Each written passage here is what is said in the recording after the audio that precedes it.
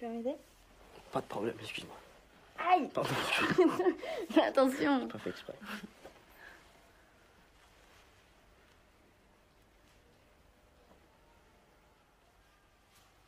Qu'est-ce qu'il y a? C'est à toi ça? Ouais, pourquoi? Depuis. euh, T'es feuge. Enfin, je veux dire, t'es t'es juif. Ben, ouais, non, enfin, vraiment. Pourquoi ça, dérange?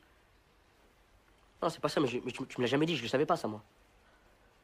Mais que ça change que je te le dise maintenant Tout.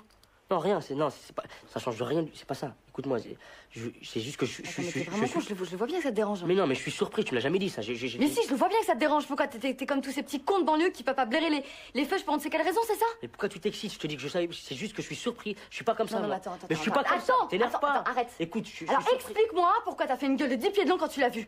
Mais je sais pas, c'était un réflexe.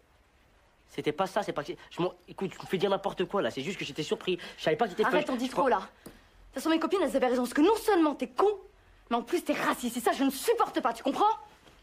Mais arrête, là, tu dis n'importe quoi là. C'est des préjugés de grossesse de Paname ça.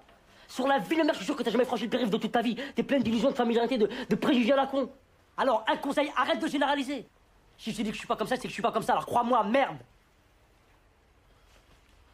Tu sais pourquoi j'ai rencontré personne ici depuis que je suis arrivé? Parce que personne ne veut se mélanger à nous. Sous prétexte qu'on se connaît pas, on se parle pas. Les surfeurs parlent aux surfeurs, les, les, les- cheveux bleus parlent aux cheveux bleus, et nous à personne. Alors confonds pas, c'est pas nous qui nous excluons et qui voulons nous marginaliser, c'est vous qui avez des idées toutes précautions envers nous, et pas le contraire.